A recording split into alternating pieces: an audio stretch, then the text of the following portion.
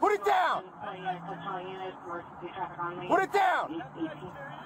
I understand. I'm not here to hassle you. Just put it down, all right? Put it down.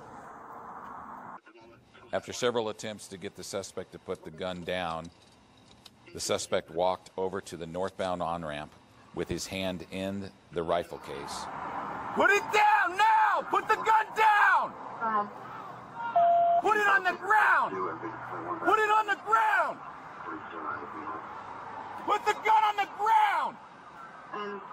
laid down in a prone position, removed the rifle from the case, pointed the AK 47 at our deputy, and began firing. He's got a gun! Get, a, get cover! Get cover!